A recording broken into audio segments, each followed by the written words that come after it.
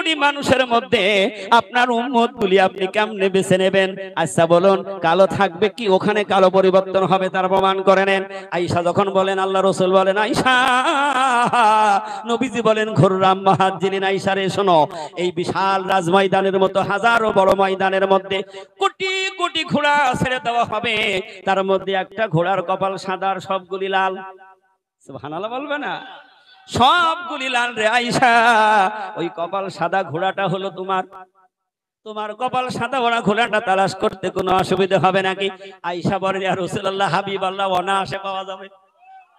আল্লাহর নবী বিশ্ব নবী মুহাম্মদ আলাইহি ওয়াসাল্লামকে বললেন, আয়েশা রে, আমার উম্মতের যারা নামাজ আদায় করবে, পবিত্র অর্জন করবে ওযু করবে, চারটা স্থান, তারা পানির ব্যবস্থা আছে, পানি দিয়ে হোক করে হোক, যারা ওযু করবে, পবিত্র হবে।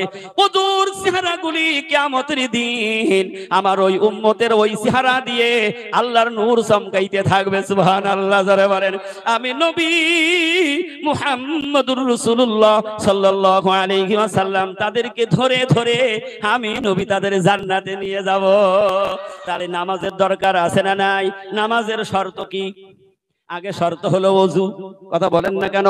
নামাজের আগে ওযু করা লাগে। ওযুর চেহারা, কুলি নূর চমকাবে, আল্লাহর নবী ধরে ধরে সব জান্নাতে নিয়ে যাবে। ধরে বলো। কালো মানুষ তাহলে জান্নাতে যাবে, চেহারা কালো আর থাকবে না। এখন বুড়োরা তো ফেল বুড়োরা তো বেলা হয়ে যাবে। আল্লাহ রসুল দেখলেন, কালো মুখী হাসি মোটামুটি হাসি।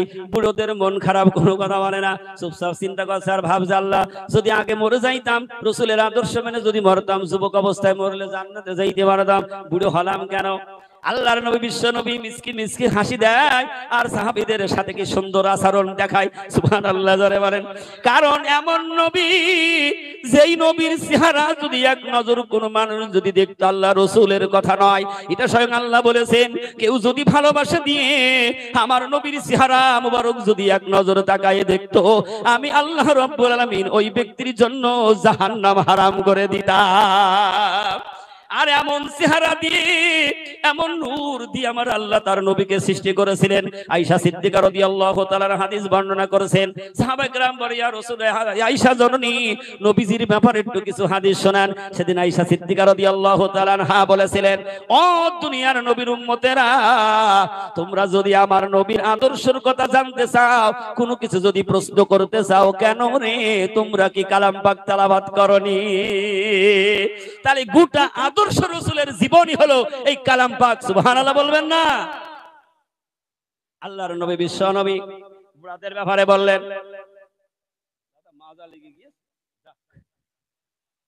আল্লাহর নবী, বিশ্ব নবী মুহাম্মদ রাসূলুল্লাহ বলেন, আল্লাহ কেন বুড়োর জান্নাতে দেবে না? কারণ জান্নাতে অনেক খাবার খাওয়া লাগবে। নাস্তাই হবে, সত্তরটা প্লেট আসবে সুহান আল্লাহ জরে বলো। মেহমানের নাস্তা খাওয়াও, কয় প্রকারের খাওয়াও, আর আল্লাহ খাওয়াবে একটু শুনে যাও রে মুসলমান। আল্লাহ রসুল বানিয়েছেন, নাস্তা দেবে, সত্তরটা প্লেট আসবে কয়টা প্লেট? একজনের জন্য সত্তরটা প্লেট আসবে, এক একটা প্লেটের মধ্যে সত্তর প্রকারের খাবার থাকবে। কত খাবি রে বুড়ো খাইতে পারবি কিনা হিসাব কর। ও বুড়ো হজম করতে পারবে না, রসুল বলছে, এত খাবার ও বুড়ো খাবে কেমনি? আল্লাহ রসুল বলেন, সত্তর প্রকারের খাবার থাকবে। এক একটা খাবারের মধ্যে আল্লাহর পাই গুম্বার বিশ্ব নবী তার জবান দিয়ে বলে দিলেন, এক একটা খাবারের মধ্য থেকে সত্তর প্রকারের স্বাদ বাহির হবে। তাহলে সেই খাবারের আশা আপনাদের আছে না নাই? দুনিয়ার সামান্য স্বার্থের জন্য মানুষ পাগল হয়, হালাল হারাম করে সেইটা লড়াই করে। শুধু মুক্ত জীবন না বানায় বড় হওয়ার জন্য, খাবারের জন্য মানুষ পাগল হয়। আল্লাহ রব্বুল আলামিন বলে, ও জান্নাতি রে, তাহলে 70 প্রকারের খাবার আমি খাওয়াবো। আল্লাহ রসুল বললেন এই জন্য আল্লাহ বুড়োর দেবে না, কারণ অত খাবার বুড়ো খাওয়াবে কনে? ও খাবার নষ্ট হবে এই জন্য বুড়োর দেবে না। নবীজি বললেন আমার বুড়োরা শোনো, আল্লাহ রব্বুল আলামিন যখন জান্নাতে দেবে পঁচিশ বছরের যুবক বানিয়ে দেবে। একটাও আল্লাহ বুড়ো রাখবে না। সবাইকে যুবক বানাই আমার আল্লাহ জান্নাতে দেবে। আওয়াজ দিয়ে বলুন সুহান আল্লাহ কারণ আল্লাহ এমন দয়ার মালিক। তার নাম হলো আল্লাহ গফুরুর রহিম। আওয়াজ দিয়ে বলতে হবে সুহান আল্লাহ আল্লাহকে যারা বিশেষে ভালো, দুঃখ কি আর তাদের থাকতে পারে? হতাশা কি আর তাদের থাকতে পারে? আল্লাহকে যারা বিশেষে ভালো, দুঃখ কি আর তাদের থাকতে পারে? হতাশা কি আর তাদের থাকতে পারে? যারা লয়েছে মুখে আল কোরআনের বাণী, সুবহানাল্লাহ কালাম পাক তুলে দিয়েছেন। আর কবি সম্রাট আল্লামা ইকবাল গাইলেন, যারা লয়েছে মুখে আল কোরআনের বাণী, যারা লয়েছে মুখে আল কোরআনের বাণী, হতাশা কি আর তাদের থাকতে পারে? দুঃখ কি আর তাদের থাকতে পারে? সামনে বাড়ালো পাজারাজ, নতুন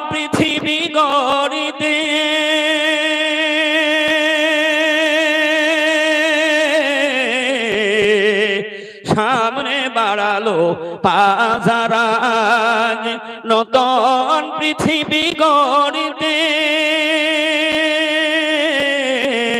জানা তো ছিল তাদের সকলের কত যে হবে লড়তে। জীবন বাজিয়ে রেখেছিল তারা, জীবন বাজিয়ে রেখেছিল তারা। মরণ দিয়ে সু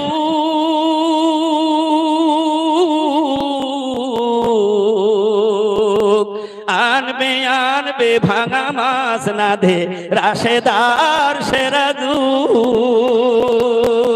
দুনিয়ার মানুষ চোখ লাগাও বাগবাড়ি মানিক তারা নিজের জীবন মরণ বাজিয়ে রেখে চলে গেলেন শরীর জঙ্গলে চোদ্দটি বছর। সুবহানাল্লাহ জোরে বলেন। মানুষদেরকে মুক্ত করার জন্য, মানুষদেরকে পবিত্র বানানোর জন্য চোদ্দটি বছর আল্লাহর হাবিব জেরাম সাধনা করেছিলেন। একটানা চোদ্দটি বছর শরীর জঙ্গলে, সাধনা কারে বলে, ধৈর্য কারে বলে, সবর কারে বলে ইমান কারে বলে, সব দেখিয়ে দিলেন। সুবহানাল্লাহ জোরে বলেন। মানুষদেরকে ভয় ভীতি থেকে নিকার মমিন বান্দা বানানোর জন্য যে কথা বলছেন, আল্লাহকে যারা বেশেছে ভালো, দুঃখ কি আর তাদের থাকতে পারে? আল্লাহ বলে, চোখ লাগাও কোরআনের পাতায়। সূরা ইউনূসের 62 নম্বর আয়াতে, সুবহানাল্লাহ যারা বলেন।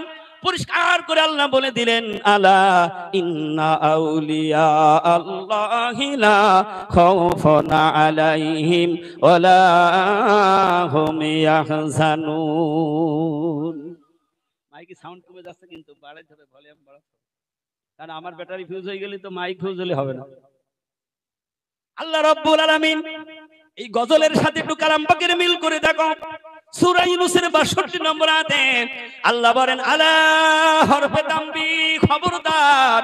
ইন্না উলি আল্লাহ নিশ্চয় আমার ওলি আল্লাহ যারা, আমি আল্লাহর বন্ধু যারা। লা খাউফুন আলাইহিম ওয়া হুম ইয়াহজানুন। তাদের কোনো ভয় ডর, কোনো চিন্তা থাকবে না। কোন দিন?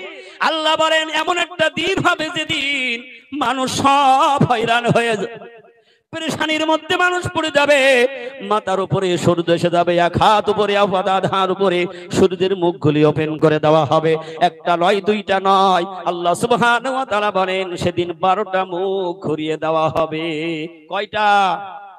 ভালো করে শোনো রে মুসলমান, একটা সূর্যের তাপ কত মাইল দূরে আছে? নয় কোটি তিরিশ লক্ষ মাইল দূরে আরও হতে পারে। বৈজ্ঞানিকরা অনুমান করে বলছেন, আমার মনে হয় কম হোক আর বেশি হোক, একটু খেয়াল করে দেখুন, আমরা তো কেউ নাগাল এখনও পাইনি। কথা বলেন না কেন? কত উপর থেকে তাপ দিচ্ছে? একটা মুখ দিয়েছে আল্লাহ, কিন্তু আসল মুখ দেয় না আসল মুখ আল্লাহর আরশের দিকে ঘুরিয়ে রেখেছে, বিপরীত পিছনের ছায়া জমিনে। আল্লাহ আকবার বলো, আল্লাহ যদি রহমান রহিম না হতো আল্লাহ সুবহান ওয়া তাআলা যদি রহমাতাল লিল আলামিনকে না পেটাতো, আল্লাহ আকবার বলেন। যার ওসিলায় আল্লাহ রাব্বুল আলামিন বলেন এই জগৎটা আমার কাছে মনে হয় যেন আমি একবার পাহাড়টাকে এক গাই করে দিয়ে সব কিন্তু না না না।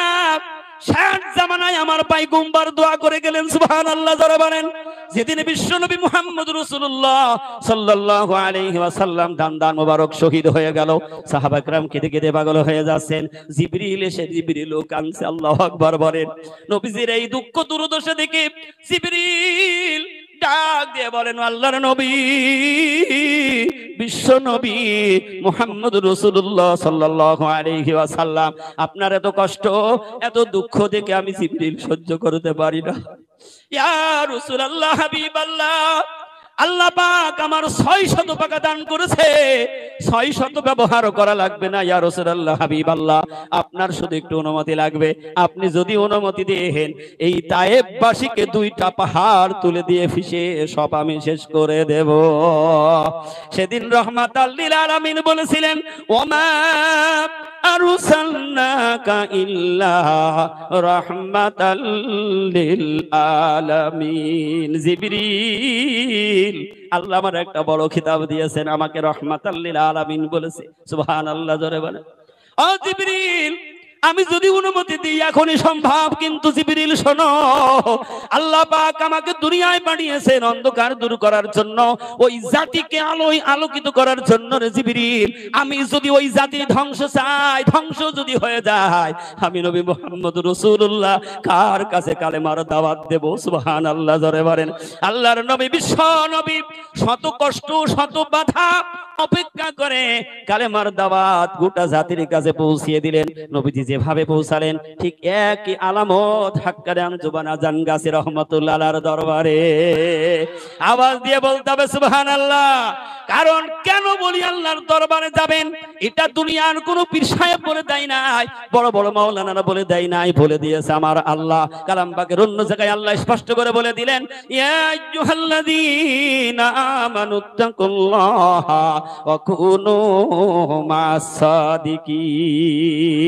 এটা আওয়াজ দিয়ে বলি না, সুবহানাল্লাহ।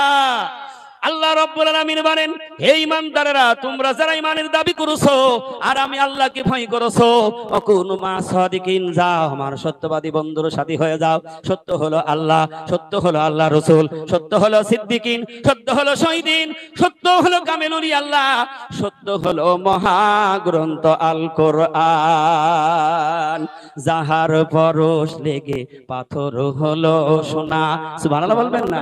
যাহার পরশ লেগে পাথর হলো সোনা সন্দেহ ভুল নেই যারে কি কণা এই যে পিছে ফেলে যত সব। এই যে পিছে ফেলে যত সব। এগিয়ে চলে তাহা পানে সমাধান সমাধান চাও যদি জীবনে, মরণে। ফিরে যাও খুঁজে নাও, চোখ রাখো দরবারে। কেন দরবারের কথা বলেছি? কারণ এই দরবারটা হলো কালামের রব্বানি, সুবহানাল্লাহ, জোরে বলেন। জামানার মুজাদ্দিদ হযরত মাওলানা যেভাবে বিশ্ব নবী হিজরত করে মক্কা ছেড়ে মদিনায় চলে গেলেন, হিজরত করাটা বলা বড় সহজ, কিন্তু কত যে কঠিন। আল্লাহর নবী, বিশ্ব নবী যেদিন নিজের ঘর ছেড়ে দিয়ে চলে যাচ্ছেন, কিছু যায় আবার ঘাটটা ঘুরিয়ে মক্কার দিকে বারবার ফেল ফেল করেছে টাকা। কারণ নিজের জন্মভূমির মায়া আছে না নাই। জামানার মানুষ বাবার পঁয়ত্রিশ ভিটার জন্য সব বিক্রি করে দিলেও পঁয়ত্রিশ ভিটা দখল রাখার জন্য চেষ্টা করে। যদি মামলা লেগে যায়, নিজের জীবন দেবে, মরে যাবে, তারপরও ভিটা ছাড়বে না। আখরি জামানার পাইগুম্বার বিশ্ব নবী আল্লাহর হুকুমে হিজরত করলেন, মক্কা ছেড়ে মদিনায় চলে যাচ্ছেন। আর আবু বকর সিদ্দিক রাদিয়াল্লাহু তাআলা রাসূলের সাথে বারবার বলে, ইয়া রাসূলুল্লাহ হাবিবাল্লাহ, আমি বুঝেছি, মনে হয় মক্কার প্রতি আপনার দয়া, মায়া। কিন্তু ইয়া রাসূলুল্লাহ হাবিবাল্লাহ, মক্কার মানুষ আপনাকে চেনে নাই। কিন্তু তারপরেও বিশ্ব নবী মুহাম্মদ রাসূলুল্লাহ সাউন্ড বাড়াও, কমে যাচ্ছে। বিশ্ব নবী মুহাম্মদ রাসূলুল্লাহ সাল্লাল্লাহু আলাইহি ওয়াসাল্লাম মক্কার প্রতিশোধ নিয়েছে নাকি? আল্লাহর হাবিব বিশ্ব নবী যেদিন ফাতেমা মক্কা বিজয় হয়ে গেল ইচ্ছা করলে প্রতিশোধ নিতে পারতেন। কিছু মানুষ ভয়তে পালিয়ে চলে গেলেন পাহাড়ের গোয়ায়। একটু ভালো ভালো করে শোনরে মুসলমান। কেমন রহমাত আল্লিল আলামিন? কার বলে সেটা চাক্ষুষ প্রমাণ করে নিতে হবে। পাহাড়ের দিকে অনেক মানুষ যারা বেশি বিরোধিতা করেছে পালিয়ে চলে গিয়েছে। একজন বৃদ্ধা বুড়ি, বড় টুপলা, তার সব গাঠরি গুছিয়ে নিয়ে রাস্তার পাশে দাঁড়িয়ে রয়েছেন।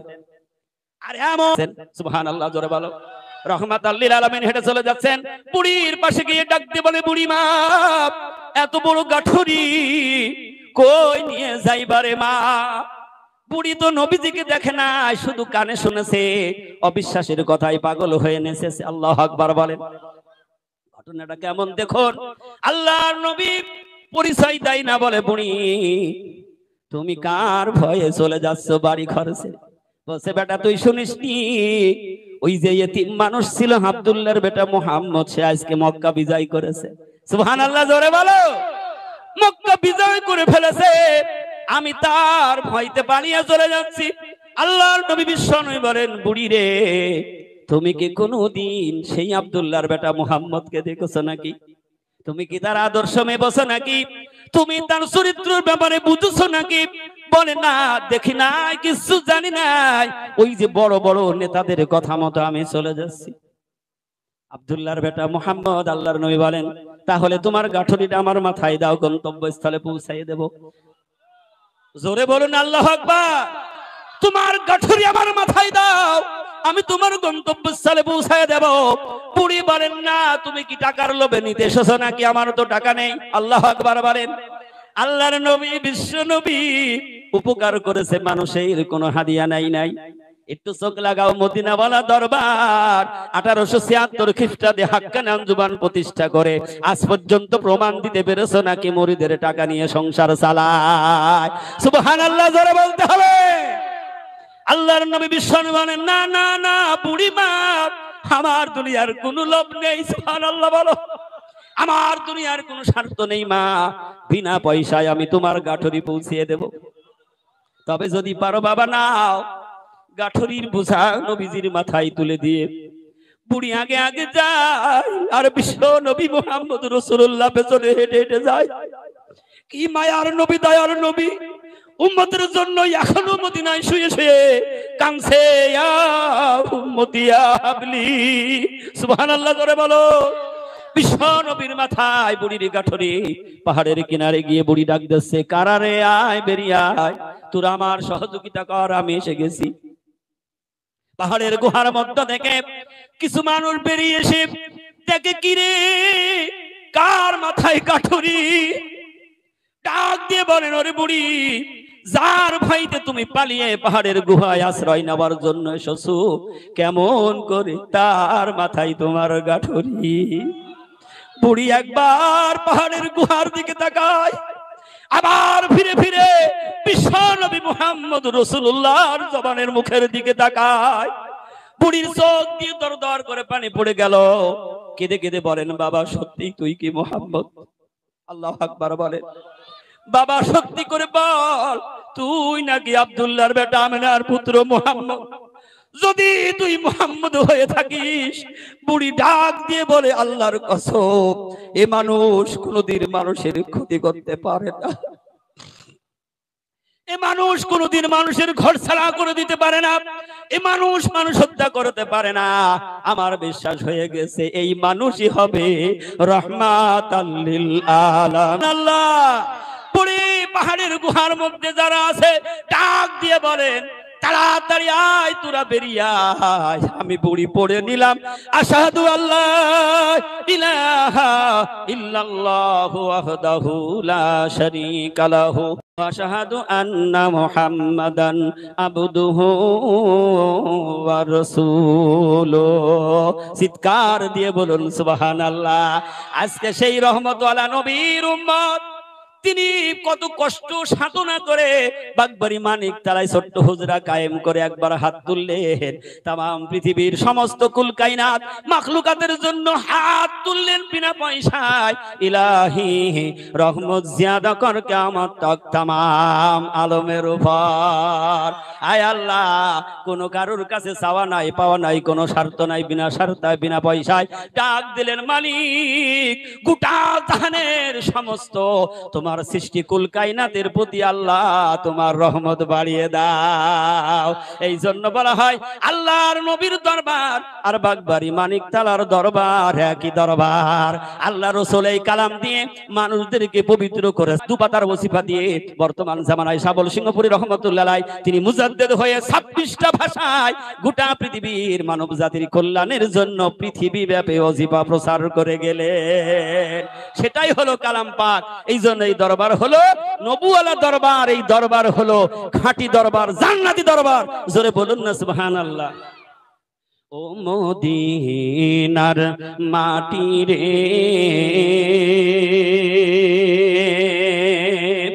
সকল শোক বসি তোর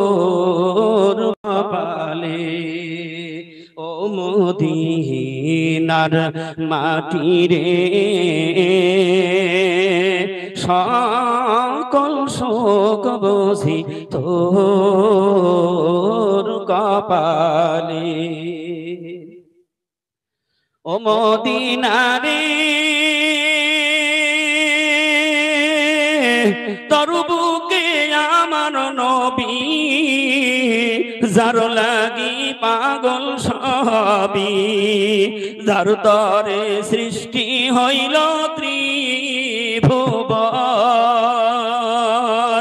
কাদি আমি সারাক্ষণে, কখন যাব সেইখানে।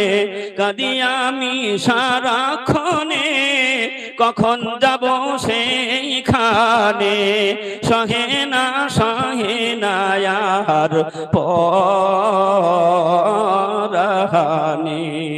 ও মদিনার মাটি রে সকল শোক বসে তোর কপালে। ও মদিনারে, পাখি যদি হতাম আমি, উড়ে মোড়ে যেতাম আমি। থাকিত না মনে কোনো বেদনা।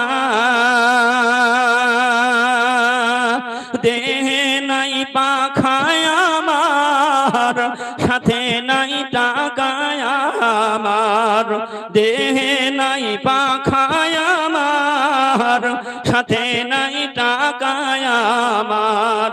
কেমনে কেমনে যাব সেইখানে ও মদিনার মাটি রে সকল শোক বুঝি তোর কপালে। ও মদিনারে, তোর কাছে গেলে আমি কত সুখী হতাম জানি, তোরে আমি বুঝাইব কেমনে?